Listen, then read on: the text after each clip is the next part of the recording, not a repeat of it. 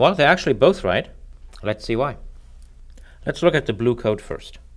When we start, value is 100. We go to the loop. Value is greater or equal than 100. In fact, we've set it to make sure we enter the loop. We ask the user to enter a value. Let's say the user is uncooperative and enters 200. Then we go back up.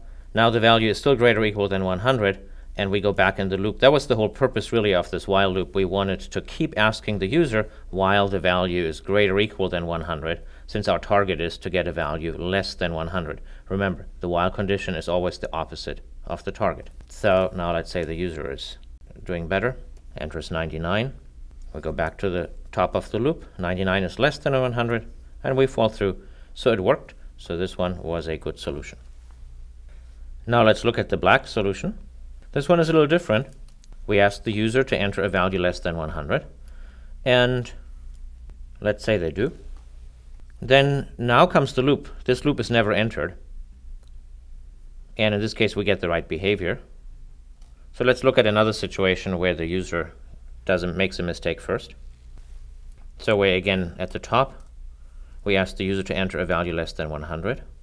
The user enters 200. Now that's greater equal within 100. So now we get into the loop and we ask the user again and say now they give the right answer. Then we go back to the top and now we're satisfied. So this also works. But both of the solutions are a little unsatisfactory. Look at the first one here. We have this trick where we're setting this value to an artificial value, not to a user input, so that we enter the loop the first time. It's a bit ugly. The second one, we repeat part of the code.